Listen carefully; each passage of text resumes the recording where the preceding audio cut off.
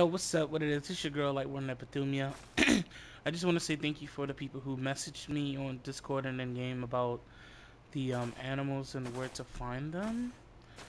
Actually, um, there was a friend who helped me also. Um, we were basically talking amongst each other and we figured out that there's certain animals that come up in certain times and um, weathers and it's just pretty much been really a blast doing this shit with them. So thank them a lot. I'm not gonna put their name out because they um, want to stay anonymous. So we're gonna keep that out there. But yeah, um, this is just a small video I wanted to make because um, somebody asked me a question of how do I farm? Do I use any farm methods? Because all they do is um, farm in a pattern, which I do the same thing. But I also gave them a help tip of using the waymarks. A lot of people may or may not use these. I use these because it keeps me on track of what I need to do.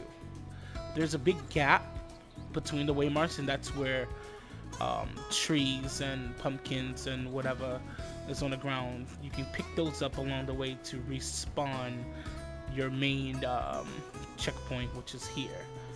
I've already started along I started from here and then I just go around. You can go either way. You can go either counterclockwise or clockwise. It doesn't matter.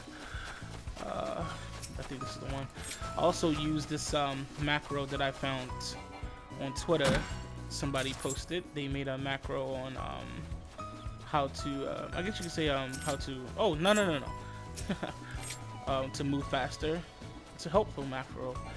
How unfortunately it doesn't um, it doesn't click on the item or the trees or whatever to confirm the action. So you have to do that manually, which is not a huge issue for you, but it does help a lot when you're trying to farm.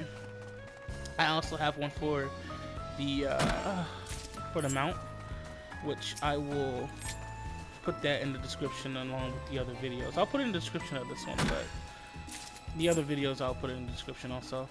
So you see how the, there's no more trees left, or there's no more apple trees, then I'll come over here and try to like farm a sugar cane that gives me vines also. And let's see. And then we can, oh shit. I meant to pick this tree. I don't know why I picked that one, but whatever. And by the time, let's see. And by the time we um, get to this tree, it should already have respawned. It should have respawned by now. Yep, I saw it. And then that's pretty much it after that. Sometimes this doesn't work. It'll click on something else. Maybe there's something that did wrong, but I don't know.